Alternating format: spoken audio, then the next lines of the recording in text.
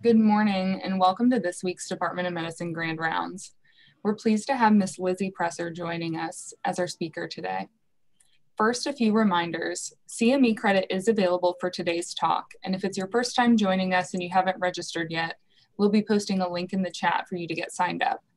We are not offering MOC credit at this time. Please also use the chat feature to post any questions that you have for our speaker throughout the presentation. At the end, I will read them aloud for our speaker to respond to. I'd now like to welcome Dr. Josh Beckman, Professor of Medicine and Director of Vascular Medicine, to introduce our speaker.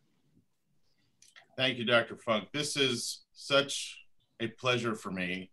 Um, as someone who's been in the vascular game now for a couple of decades, it's been it's been appreciated uh, that there is a significant increased risk of amputation in Black Americans.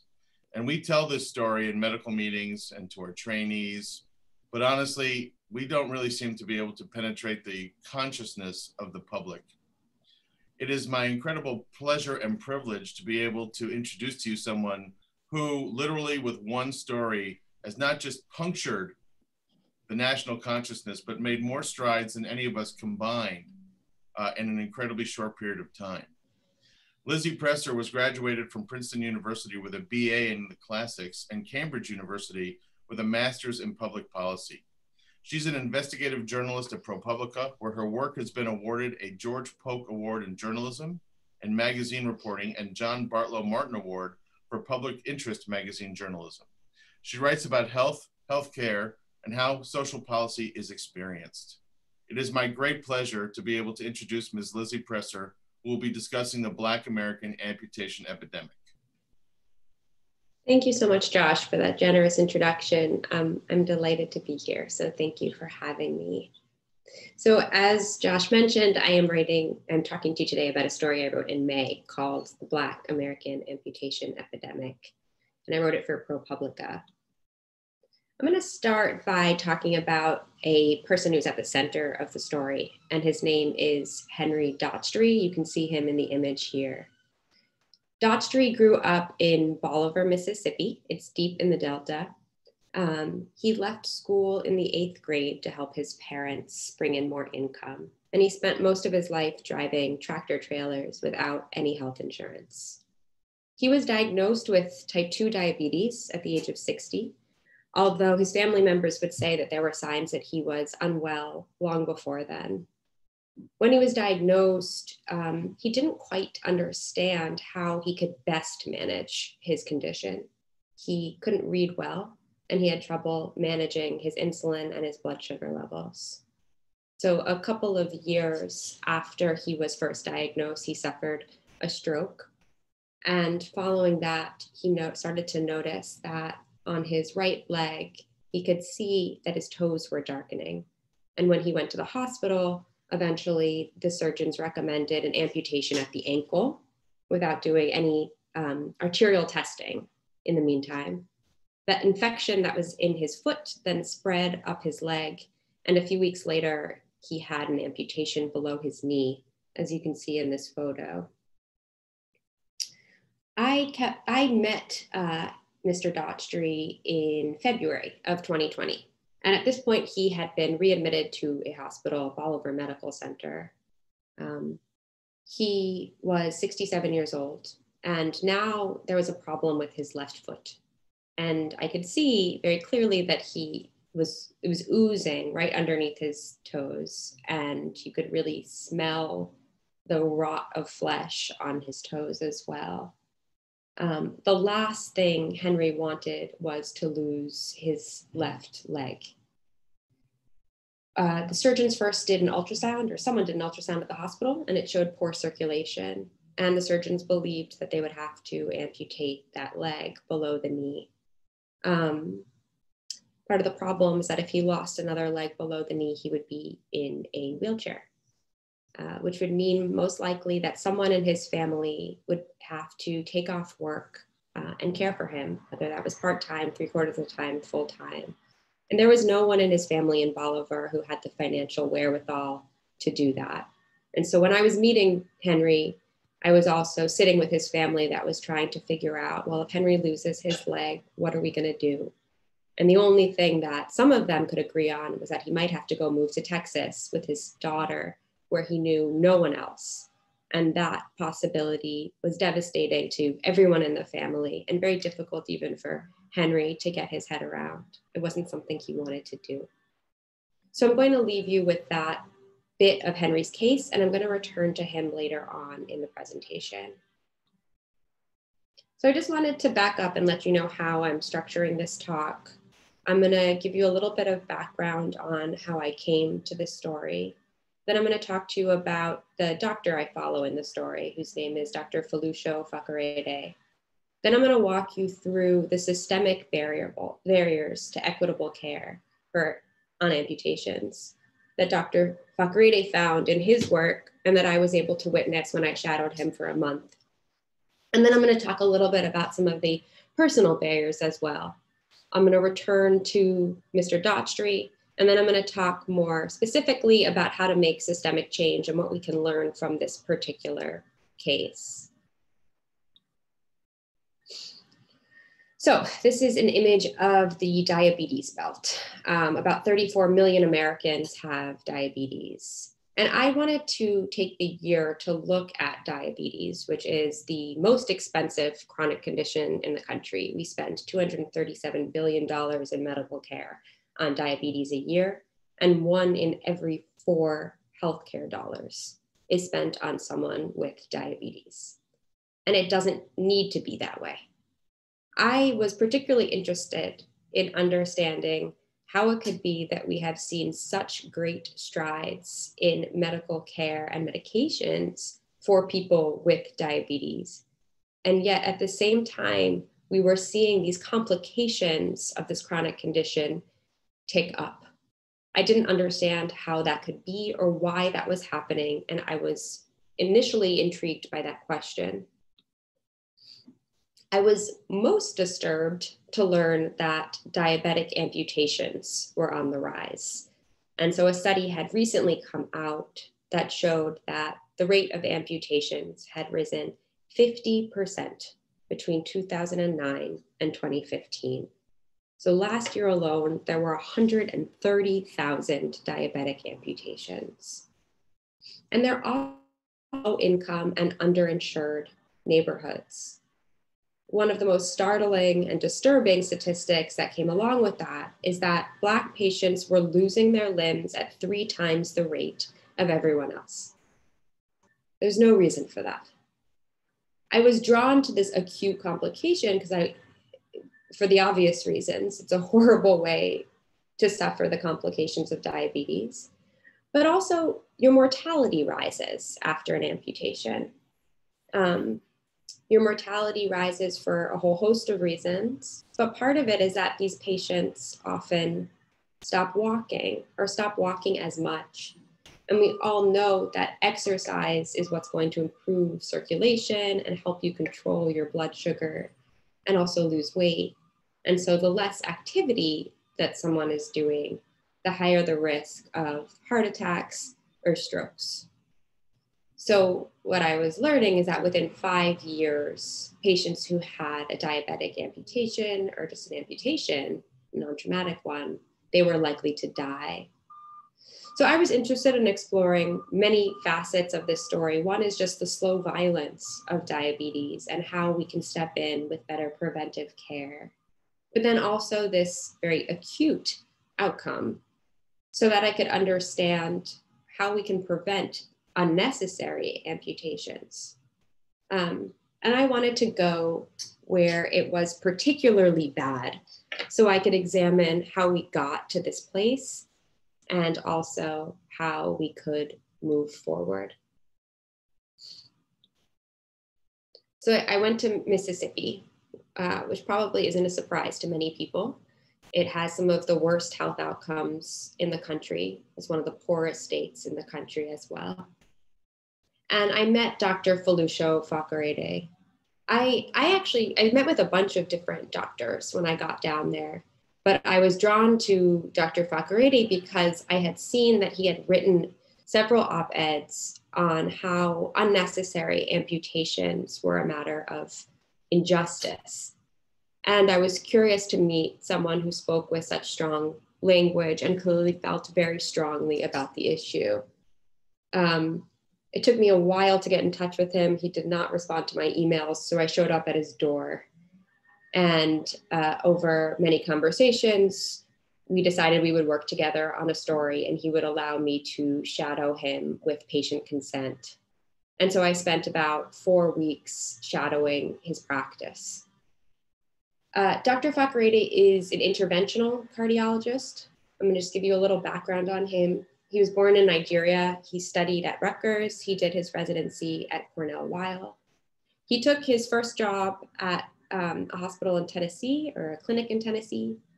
And that's where he grew interested in the Mississippi Delta. Uh, he, like me, was interested in why the outcomes in Mississippi were so poor. And he had also heard anecdotes from people who were from Mississippi about a general mistrust of the medical system, and in particular, just a difficulty in finding Black physicians and Black specialists who patients in the Delta trusted. In fact, when he did a little bit more research, he realized that he could only find one other Black interventional cardiologist in the entire state of Mississippi.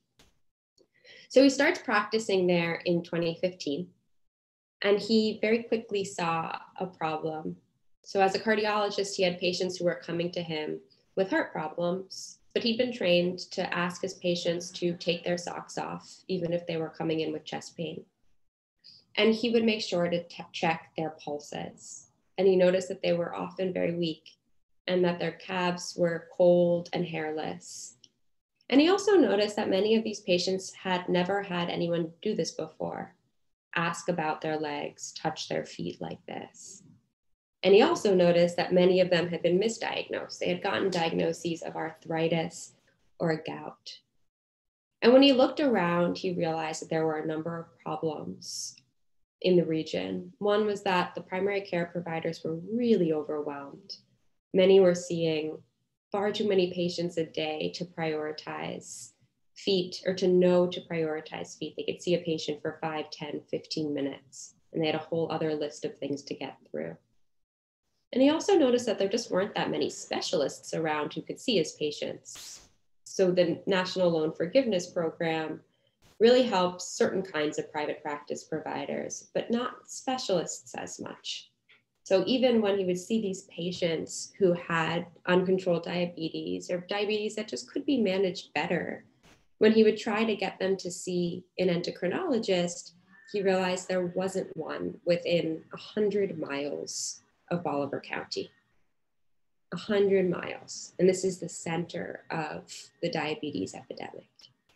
And yes, there were endocrinologists in Jackson, but many of them didn't take Medicaid and for many of his patients, that's all they had. So this also applied to Dr. Fakorede. He wanted to start a practice there and wanted to start a lab there. But in order to do that, he would have to take on more debt on top of his student debt. Um, I also want to say that what he was realizing was that most of his patients just hadn't had a diagnosis of peripheral artery disease when it seemed to him that that's what they had. And when he was able to check that indeed that was the diagnosis. So I just want to quickly step back and talk a little bit about peripheral artery disease and what it is. Um, I'm sure, as most of you know, peripheral artery disease is when clogged arteries in the legs, in this case, are limiting the flow of blood. Um, it is one of the most morbid cardiovascular diseases, and very few people talk about it. Less than a quarter of Americans have even heard the term and are aware of it. And that's because it is really a terrible term peripheral artery disease. It doesn't mean anything to most people. And as Dr. Beckman likes to say, peripheral artery disease makes it sound like it's something you don't even need to think about. It's on the periphery. But really, it is an extraordinarily dangerous disease, especially if it is not caught and treated early. So there are about 8 to 12 million people in the United States who have peripheral artery disease. And about 50% of these patients are believed to be asymptomatic. And asymptomatic can mean a whole lot of things, but often it can mean that, sure, they have a little bit of pain walking, maybe, but they don't necessarily know what it is, and it can kind of be anything in their minds. More than a half of these patients have trouble walking. And so, diabetes is going to increase the risk of PAD, like it does for any kind of atherosclerosis. And in particular, diabetes that can't be managed that well will do that. And plaque is going to build up faster in your vessel's walls. And it's also a disease that is more prevalent with age, right? It's the same thing that's happening in your neck, which can cause a stroke, in your heart, which can cause a heart attack. And then in your legs, the risk is gangrene and an amputation. So this is a patient that uh, Dr. Fakorede came to the hospital where Dr. Fakorede was working and he has consent to share these photos. So the most complicated patients would come in through the emergency room. Dr. Fakorede got credentialed at a nearby hospital, Bolivar Medical Center. And these were patients who typically had, over a lifetime, just simply didn't have good access to healthcare. Um, many of these patients may have come to the hospital before but they had been treated with wound care or antibiotics and not offered revascularization. Um, maybe they simply weren't offered it, and maybe they just couldn't pay for it. Uh, so then what would end up happening is that a wound that had started off maybe as something really tiny, like a nick of the toenail, um, even just cutting your nails, would fester and be unable to heal because it wasn't getting blood from the vessels to deliver the nutrients it needed. And over time, that infection would spread. And so, this is an x ray of someone who had come into the hospital and he had woken up from a nap and realized that his dog was eating the dead flesh off the tips of his toes. Often, these are patients who, by the time they get back to the ER, there is no choice but to amputate. And that's really what was driving Foluso, Dr. Fakorede. How do I reach these patients? He was also particularly interested in this as a systemic issue, not just as a local one. So, as you can see from these maps, the distribution of amputations is strikingly similar to the distribution of the enslaved population in 1860. That's disturbing. And it really disturbed him. And he was interested in trying to figure out not just how do I reach people locally and change, turn this around really in Bolivar, but also how do I understand and disentangle the systemic barriers that are leading to this distribution of amputations and to the fact that Black Americans are three times more likely than everyone else to suffer them. So, to sum up, he discovered this problem that he didn't know he was going to find, which was this extraordinarily high rate of undiagnosed peripheral artery disease. And in the next section, I'm going to talk about the barriers he encountered to trying to address that problem. So I've laid out here five major systemic barriers. There are more, but I'm going to focus on these. Um, I'm going to talk to you about health insurance, the US Preventive Services Task Force, the guidelines on arterial testing and angiography before amputation, hospital practices and policies, and also financial incentives. I'm going to start simply with health insurance. Um, Black Americans in this country are simply less likely to be insured than white Americans. Uh, in the South, they're more likely to be living in states that haven't expanded Medicaid for the working poor. And this means that those who have diabetes are at a disadvantage, not just in terms of developing the condition, but in terms of managing it. They aren't seeing doctors as regularly or accessing the medication they need as easily as people who do have that health insurance. And if that diabetes is less likely to be well managed, it is more likely to cause complications like peripheral artery disease. So, the US Preventative Services Task Force was um, another major hurdle. So, for those who are unaccustomed, the US Preventative Services Task Force was created in 1984. It is a volunteer panel of researchers and physicians who make recommendations based on evidence about clinical preventive services like screenings and preventive medicines. When this body does not in, does endorse a screening, let's start there. The law currently requires that insurers will cover that screening. If this task force does not endorse a screening, the law allows insurance providers not to cover it. In the case of peripheral artery disease, the US Preventive Services Task Force has found repeatedly that the evidence base is not strong enough. So it is insufficient evidence. They give it an I rating. And that is a problem for patients like the ones that Dr. Fakorede is seeing. So the task force, I have a quote that's on here, said very clearly these comments cited evidence that the prevalence of PAD is disproportionately higher among racial and ethnic minorities and low socioeconomic populations. And it noted that an I statement could discourage testing and perpetuate disparities in treatment and outcomes. And they wrote the USPSTF recognizes these well established disparities in care. And they called for more research in order to make a different recommendation. There are a number of problems that come up with this kind of a recommendation. So the first is just the evidence base.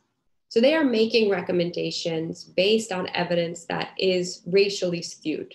So according to the government, uh, to, the, to the federal government, only about 10% of people in clinical studies are racial minorities.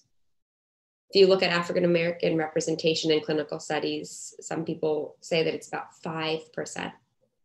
So we are basing our recommendations at the USPSTF on evidence that is already racially skewed towards white patients.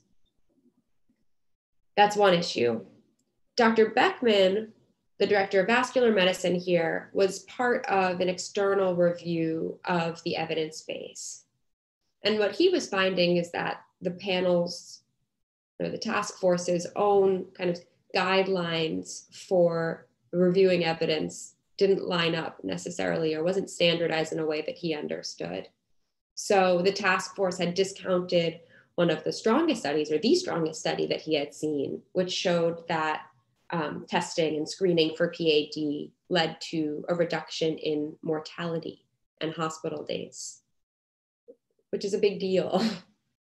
um, he was also troubled by the fact that the recommendation that the US Preventive Services Task Force gave was for the general public and not for patients who were particularly at risk of PAD. Um, professional societies, when they make their guidelines, are looking at an at risk population. Catching this kind of uh, complication, catching this disease, peripheral artery disease, early can mean getting patients on medications that have been shown to slow the progression of the disease. And it can also just mean bringing those patients into the system, teaching them to check their feet, to call a doctor immediately if they see a non healing wound or just any kind of wound that looks like troubling to them. And if you remember, 50% of these patients are asymptomatic. So it's really critical to be having those conversations early and to be watching the progression of PAD. So as a result of this um, insufficient evidence recommendation, there are many, many, many at risk Americans who simply aren't being screened for peripheral artery disease. So, the next thing I wanted to talk with you about is uh, society guidelines or just professional guidelines on arterial testing and angiography before amputation. So on the right, this is an example of um, a magnetic resonance angiogram. And I just want to walk through what you can see in this. So if you look at the leg on the left, you see a very clear flow of blood through the femoral artery. And if you look at the leg on the right, you see that there's a block, right? The blood is not flowing through the superficial femoral artery. So when you do an angiogram like this, you have a roadmap. You see where the blockage is, and you're able to determine whether or not you think you can open it back up. And the reason you need to do this is because if you have a wound on the on the right foot in this photo, you need blood flow to heal it. You need the nutrients that blood carries to make sure that that wound is going to heal. So if you chop off that foot, if you amputate that foot and you have not fixed the underlying issue, which is this blockage in this femoral artery, the wound still isn't going to heal. There is still a risk that the infection will continue to spread. And there is still a risk of pain from this peripheral artery disease. So that's uh, my take on angiography angiography, and I hope that's helpful in terms, in terms of looking at how an angiogram might actually help a physician understand what the problem is and if there is an underlying problem with the vessels that can be fixed. So you can do an angiogram as a non-invasive procedure or as a minimally invasive procedure. And then if you find that there is this blockage, you can clean it out in a number of different ways. You can use atherectomy, angioplasty, stents. And one of the things that I was finding in Mississippi and that Dr. Fakorede had found years before is that there was this great divide between academic medicine and practices on the ground, particularly in rural America. So the vascular specialists, surgeons, and cardiologists, their guidelines will recommend imaging of the arteries before amputation. But that wasn't happening. And even in national studies, 50% of Americans are not getting an angiogram before amputation. 50%. If you look just at arterial testing more generally, which will include some ultrasounds, 30% aren't getting any kind of arterial testing before an amputation. And in Mississippi, what Dr. Fakorede was finding was that of his patients who had had amputations, it was more like 90% who had never been offered or received any kind of arterial testing or angiography more specifically before suffering an amputation.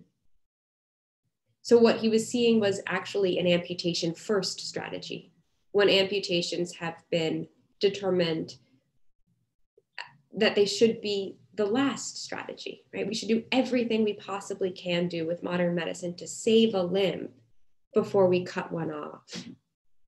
Of course, there are going to be instances in which surgeons will say, no, there are moments in which this is an emergency and we don't have time to schedule an angiogram. And sure, that seems to be the case, right? There's wet gangrene, there's the risk of sepsis. But those cases are a fraction, a really small fraction of the cases that Dr. Fakorede was seeing. And really, that most surgeons would tell you they were seeing, at least in my research of the topic, right? It's maybe 10%, 15%, and that might even be high. So, when I went to um, Dr. Gerhard-Herman, whose name I'm likely mispronouncing. She uh, was the chair of the PAD guidelines for the ACC and the AHA in 2016. And when I explained to her what I was seeing and tried to talk with her about angiography, she told me that angiography before amputation was a view that some of us thought was so obvious that it didn't need to be stated.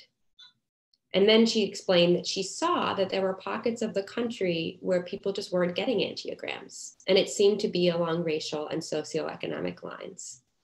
And that made her feel sick to her stomach. So there is this great divide between what is happening in major medical centers and what's actually happening on the ground, particularly in rural America. So just to give you a sense of what uh, Dr. Herman is talking about, here is a map of revascularization prior to amputation.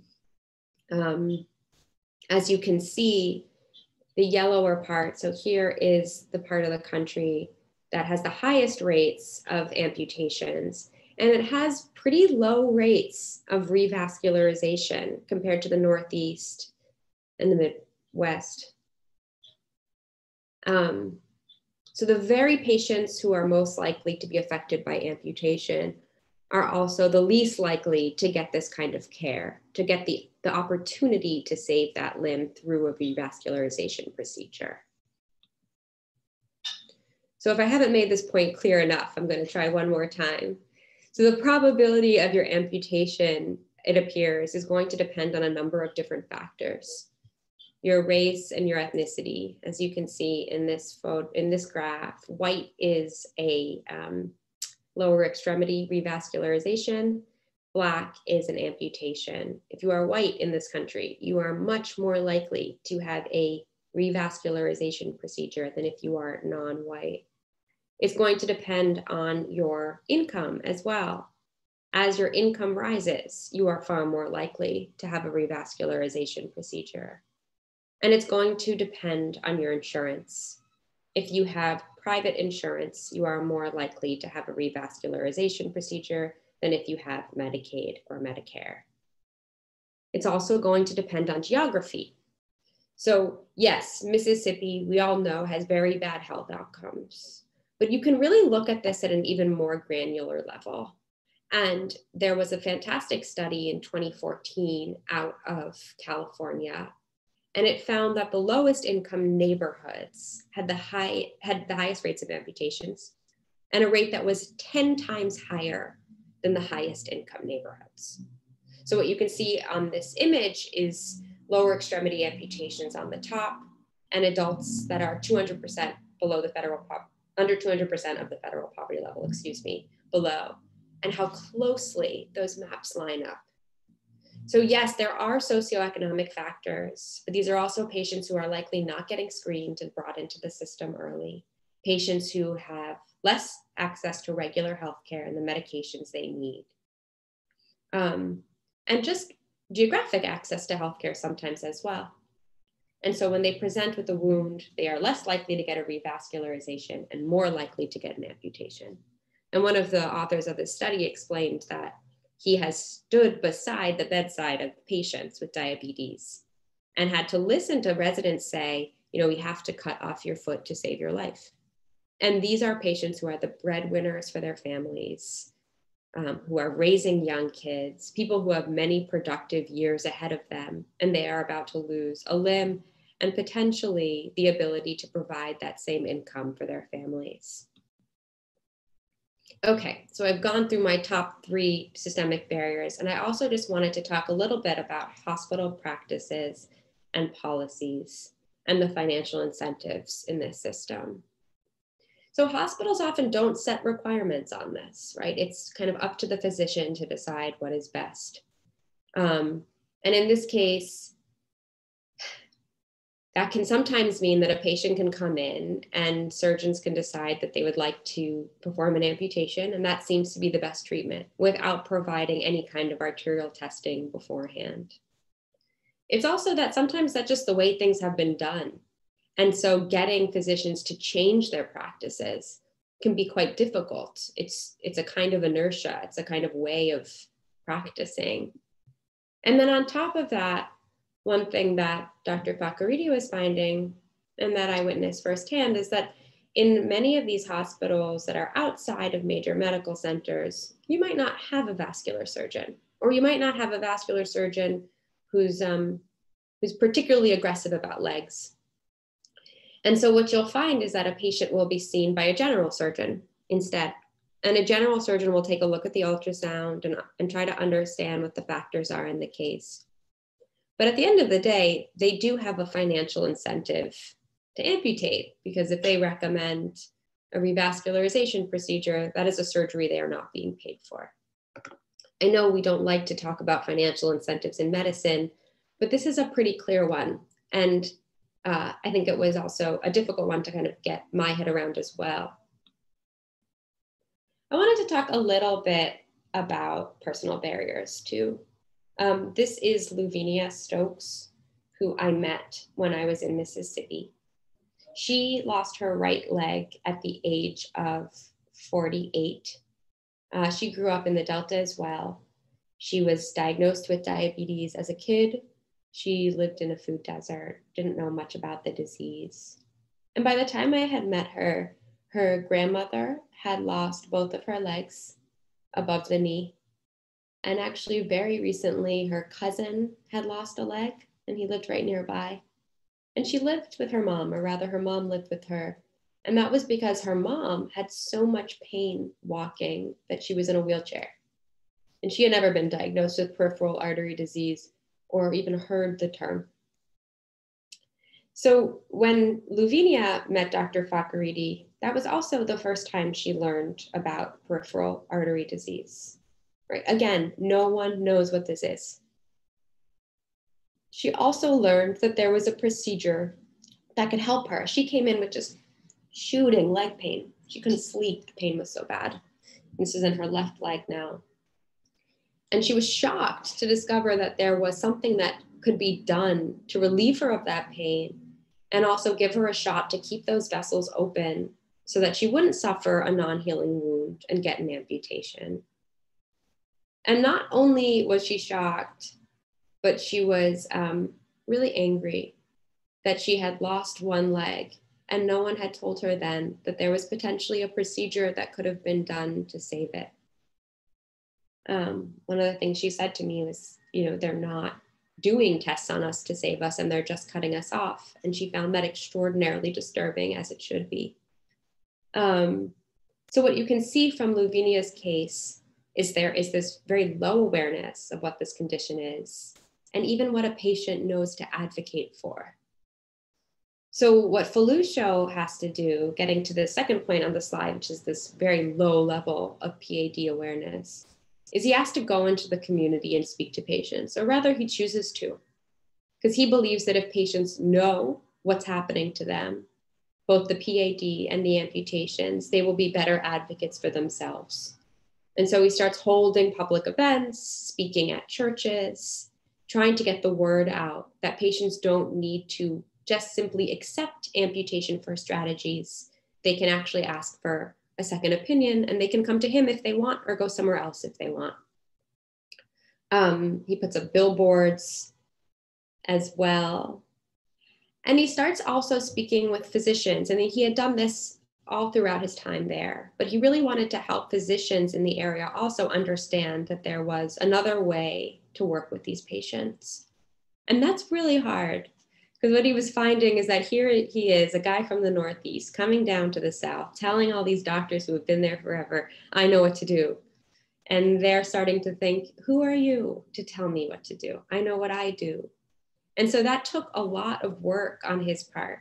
And what he would do ultimately was see patients that had been referred to him. And he would take x rays um, or, or, yeah, x rays of their legs and he would send before and after photos to the patients. Sorry to the physicians. So he would say here's your here's your patient you sent me. This is what her arteries look like when i took a look and here's what they look like after i cleared them out and her wound will now heal and so it was through that kind of constant communication sending studies sending images of his results sending patient stories that he was able to start showing and working with doctors in the region to help um, ensure that patients were, first of all, being screened, and second of all, getting the arterial testing they needed before an amputation. All right. So now we are going to go back to Henry Daughtry. So, in the context of these systemic and personal barriers, how does Dr. Fakorede end up reaching patients like Mr. Daughtry, who I started this talk with? So, he's initially attentive to patients, um, begins to see a problem that no one else is really talking about as loudly as he believes they ought to be. And he's looking for a way to be heard by them, going into the community, speaking to patients in really clear terms when they come into him about how this is an injustice, that they do not have to accept this amputation first strategy, and then gaining the, the trust of local physicians. And through that work, from 2015 when he arrived until 2017, he was able to document how these efforts allowed him to produce local results. So, what he saw was a reduction of amputations by over 85% from 2014, when he first arrived, to 2017, three years after he arrived. And alongside that reduction in amputations was this rise in um, peripheral angiograms. And you can see how they inversely correlate. So, what happens to Henry Daughtry? Dr. Fakorede is asked to consult on Mr. Daughtry's case. He asks the hospital if he can do an angiogram to get a roadmap to see what's happening in Mr. Daughtry's vessels. The hospital says no. They say they don't have the staff or the supplies. So Fakorede goes to the hospital and he sees that indeed they do have the supplies. He doesn't understand why they're saying no, but he does actually know that he needs to find a way around this. So he goes to Daughtry's primary care provider, whose trust he has won, and he asks her to discharge his patient from the hospital on Monday morning. This is all happening on a Saturday. So his clinic will reopen on Monday. It was actually Martin Luther King Jr. Day. It was a holiday. He decides he's going to open his clinic regardless to try to save Henry's leg. The primary care physician agrees to discharge Mr. Daughtry. And on Monday morning, on Martin Luther King Jr. Day, Daughtry shows up to Dr. Fakorede's outpatient lab. And Dr. Fakorede performs an angiogram, um, which he believes is best practice in this case, and which many people would agree is. He finds that Daughtry's vessels are pretty patent. There's a there's an occlusion, but he can very easily um, open up that vessel, which is what he does. And he tells the family after um, he's done with the procedure, and they're extraordinarily satisfied and grateful to Dr. Fakorede for for giving Henry this shot at keeping his foot. And he calls the hospital to let them know. And he it's in that moment that he reaches a nurse at the hospital that he learns that a surgeon had actually called earlier that day to schedule an amputation that very morning. So, this is one person's story that demonstrates Dr. Fakorede's local success despite everything that he is up against.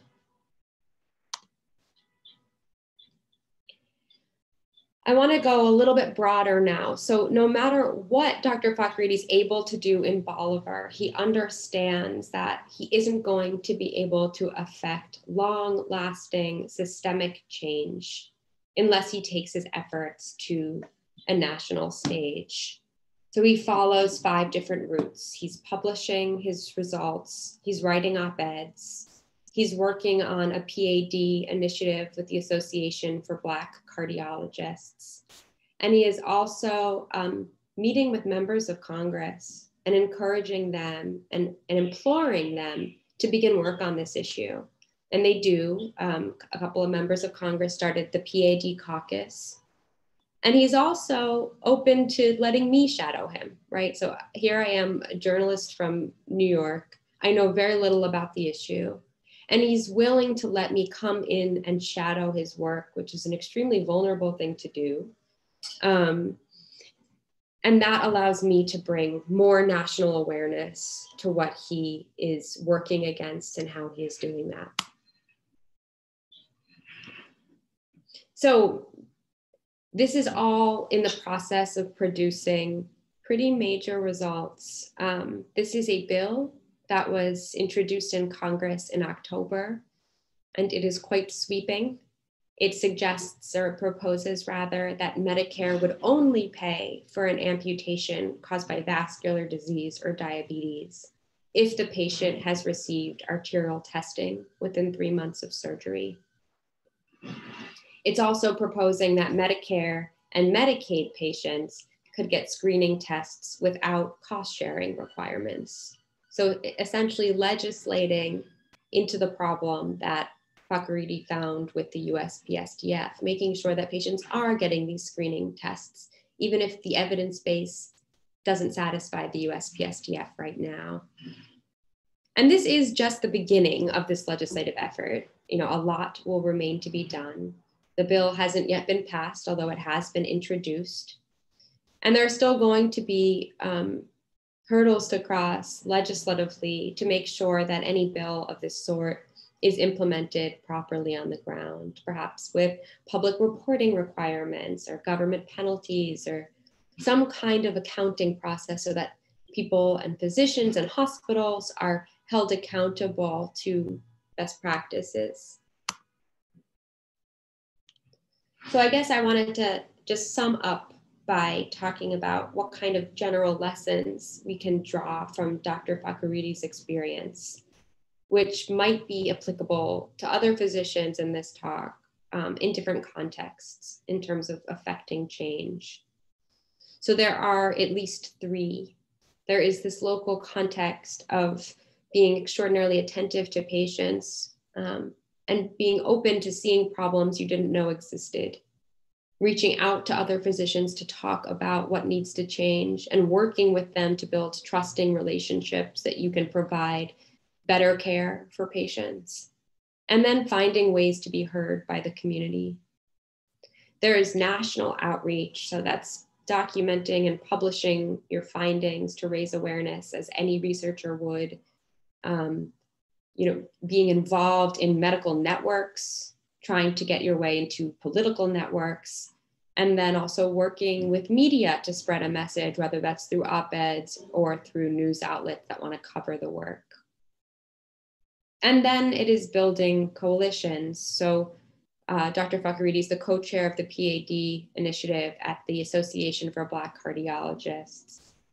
And from this perch, he begins working with other medical bodies like the Society for Vascular Surgery, the American Podiatric Podiatric Medical Association, the Harvard Public School of Public Health, even the association, um, sorry, the American Diabetes Association has become quite interested and started implementing new programs to address diabetic amputations.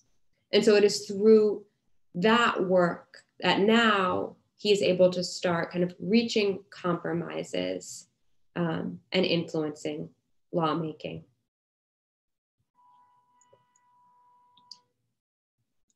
Thank you. I'd love to, to take questions now. Thank you so much, Lizzie. Um, everyone, we have Lizzie, Dr. Beckman, and Dr. Fakorede uh, back here in the panelist view. So please post any questions that you all have for any of them. Um, we have uh, at least one so far, and so I'll get started with that one, which is uh, are the same disparities seen in the VA healthcare system where insurance issues are not as relevant? That's a really good question. And actually, I know that Dr. Beckman can answer this with me because he's been working on this. Um, the, the VA has done a much better job at coordinating interdisciplinary care just because of how the system is built. And so they've seen quite good results in terms of reducing amputation numbers but I want to actually pass that off to Dr. Beckman to talk a little bit about disparities in VA care if he's with us still. I am. Thanks very much, Lizzie, and what a spectacular talk. Uh, we were lucky enough to win an American Heart Association Strategically Focused Research Network Award in vascular disease. And we are looking at both the uh, Vanderbilt and Veterans Association populations in very large numbers to specifically figure out this question to see if it's uh, the kind of care provided in a uniform system to see how that impacts um, amputation outcomes. So that data should be forthcoming pretty soon, actually. and we'll have the real, we'll have the known answer to that question. Can I can I add to that? Hi, Josh. How are you? Good morning. Good morning. Um, first of all, Lizzie, fantastic work. I mean, I've been to a lot of conferences, and you know, usually you get bored after ten minutes. But um, I'm biased, but you are excellent at what you do and deserve all the award-winning awards that you've you've ever achieved. Um, thank you again for highlighting Applied here in Mississippi. When we went to testify in Congress in 2018, um, that's myself and uh, different societies, including SCAI. Um, we utilized the PAVE program, Prevention and Amputation in Veterans Everywhere, which is a VA study.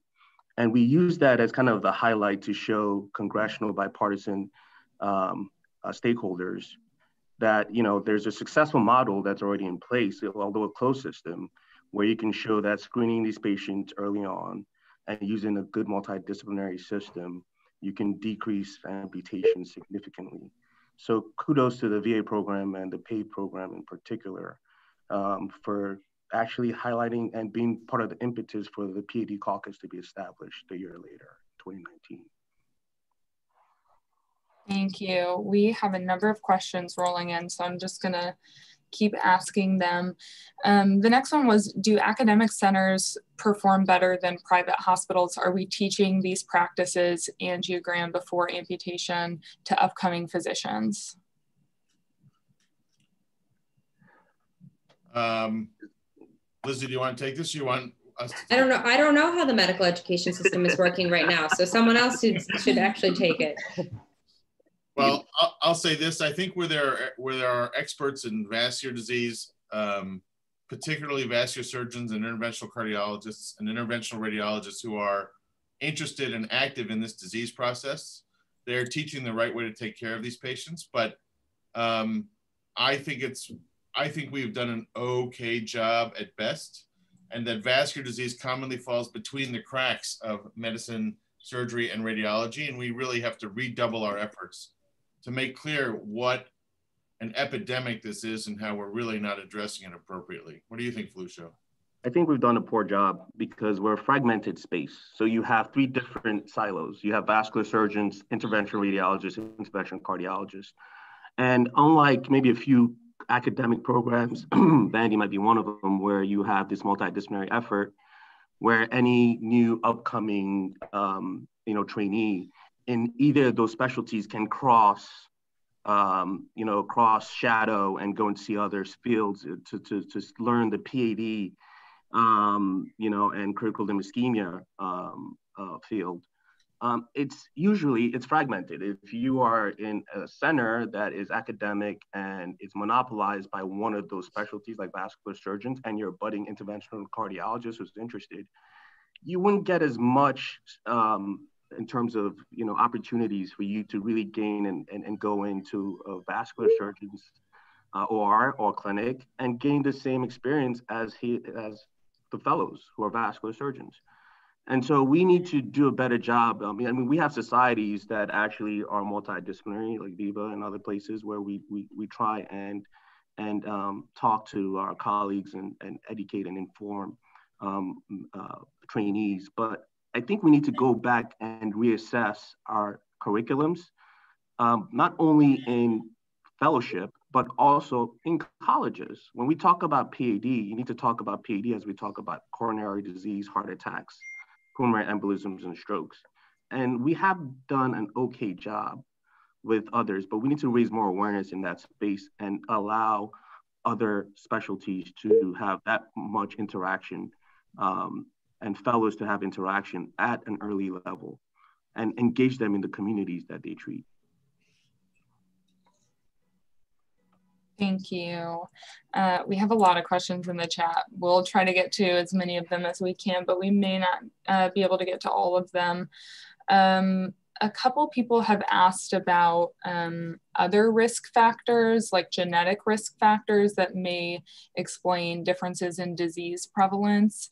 Um, so to combine two questions, you know, one person was asking if the rates of amputation in Nigeria are similarly high compared to European countries, or if there have been any other uh, sort of independent markers for um, peripheral vascular disease that have been identified. Well, uh, in terms of exact rates of amputations in Nigeria, I mean, hypertension and diabetes are high. But you know, one thing that's interest, interesting is that if you look at other markets, like the Asian market, their amputation rates are very high um, in the Asian market. Um, are there genetic reasons in play?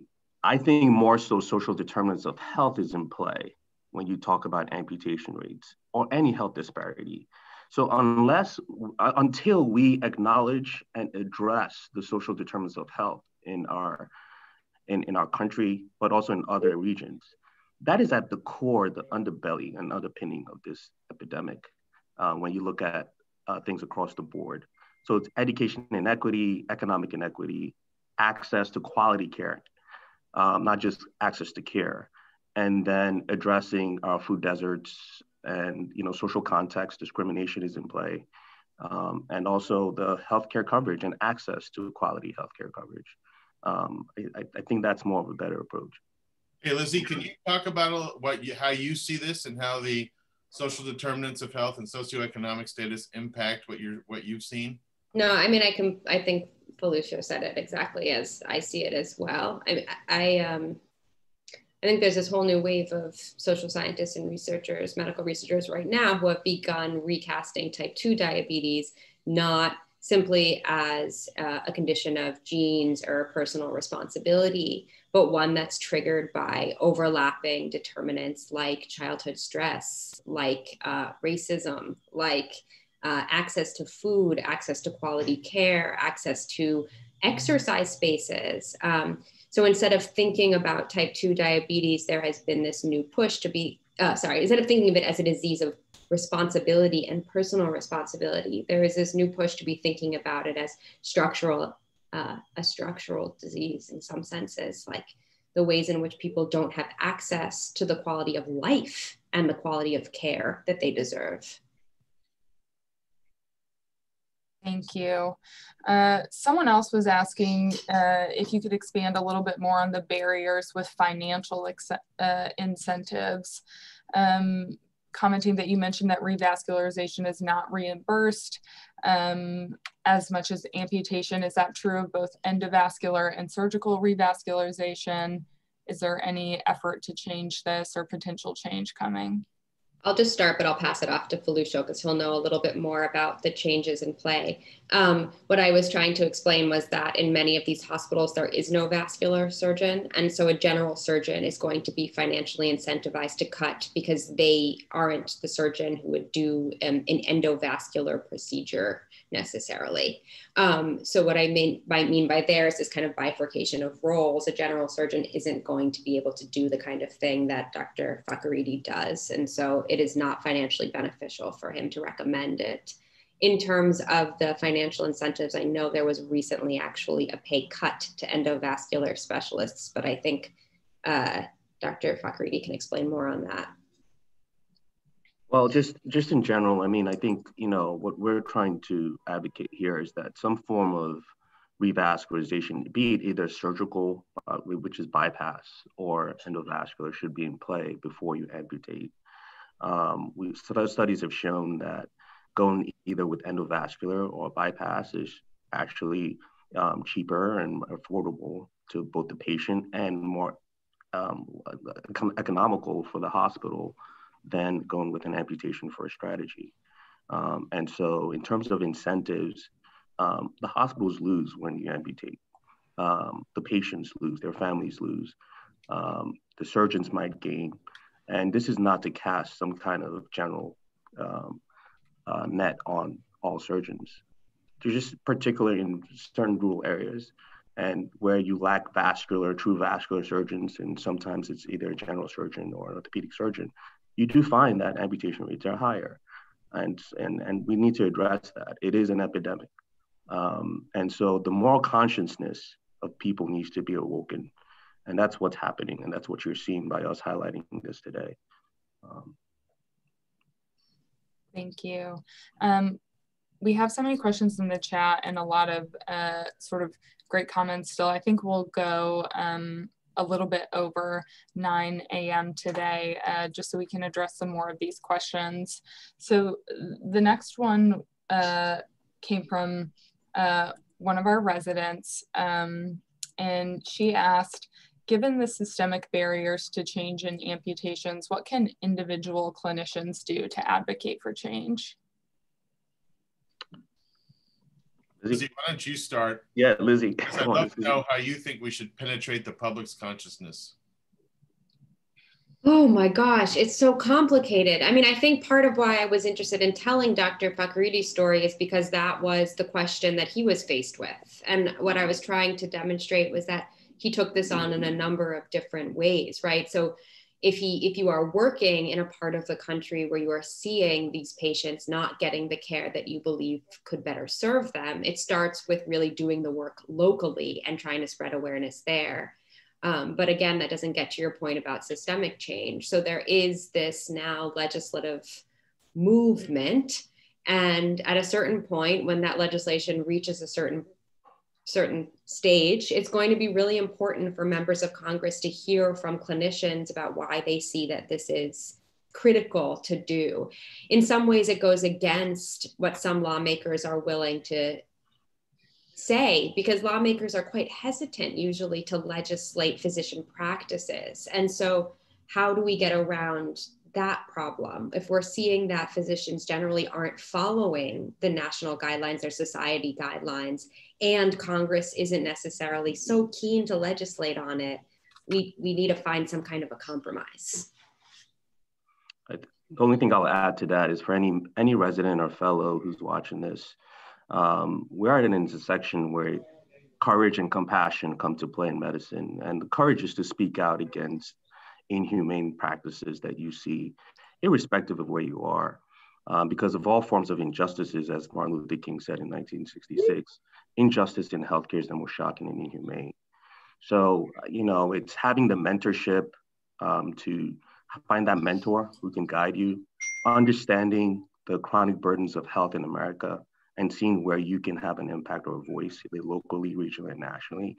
And from a policy standpoint, getting involved in policy is not to change people's heart, it is to restrain the heartless.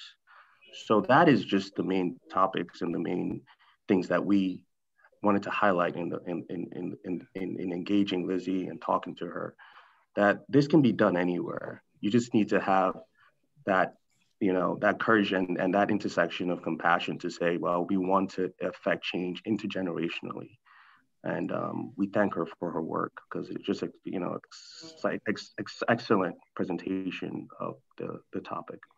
I, I, will say one more thing just th- listening to dr Fakorede speak is that i found dr Fakorede because he had written these pretty strongly worded op-eds. And they weren't in major newspapers. You know they were sometimes just on blogs. But I was like, oh, this is a doctor who really deeply cares about this problem and he sees an injustice. And that's a doctor I'm interested in understanding more from because he's willing to speak out in that way. And so I think if you are seeing problems of this sort, I would also encourage you to speak really boldly about what you see as the problem.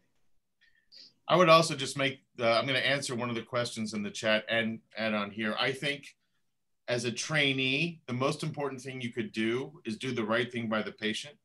So when you think someone may have peripheral artery disease, you should get them tested to see if they have it and treat them appropriately. I think at this level, just doing the right thing, communicating with patients, communicating with peers, and walking the walk and talking the talk is a good place to start. There are ways to work to do it as Dr. Fakorede did, which I will tell you is very difficult, and he deserves a tremendous amount of kudos.